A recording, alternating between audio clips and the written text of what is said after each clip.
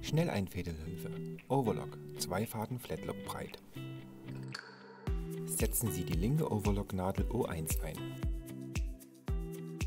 Wir empfehlen folgende Einstellungen. Stichlänge 2 bis 2,5 Standard. Stichbreite 7,5.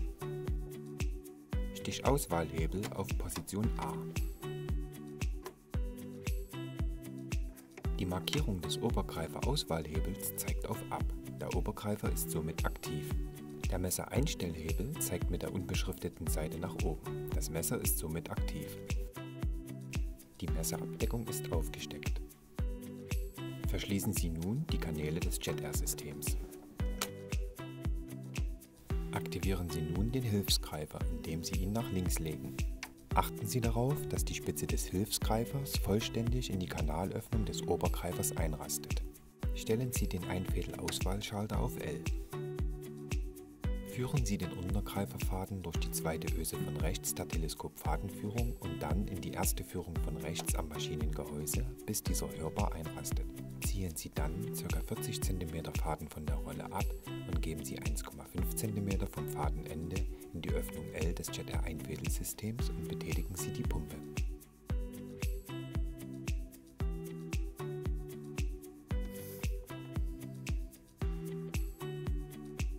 Den Nadelfaden führen Sie durch die linke Öse der Teleskopfadenführung und dann in die zweite Führung von rechts am Maschinengehäuse, bis auch dieser hörbar einrastet. Führen Sie den Faden dann, wie hier im Bild zu sehen ist, bis vor die Nadel.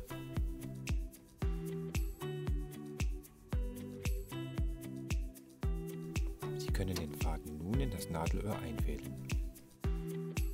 Unsere praktische Schnelleinfädelhilfe finden Sie im Zubehör Ihrer Desire 3 gezeigte Reihenfolge beim Einfädeln ist eine Empfehlung und kann beliebig geändert werden.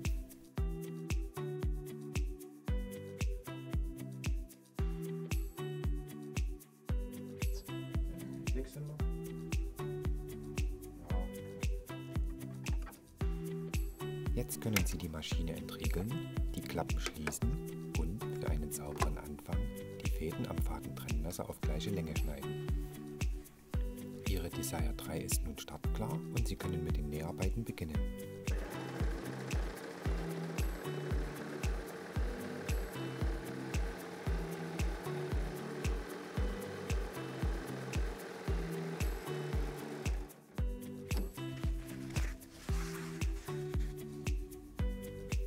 Breite Zweifaden-Flatlock-Naht ist eine Verbindungsnaht für feste Stoffteile, zum Beispiel aus Gewebe oder Jersey. Sie ist Ziernaht und Versäuberung in einem Arbeitsgang und man findet sie zum Beispiel an Raglamärmeln.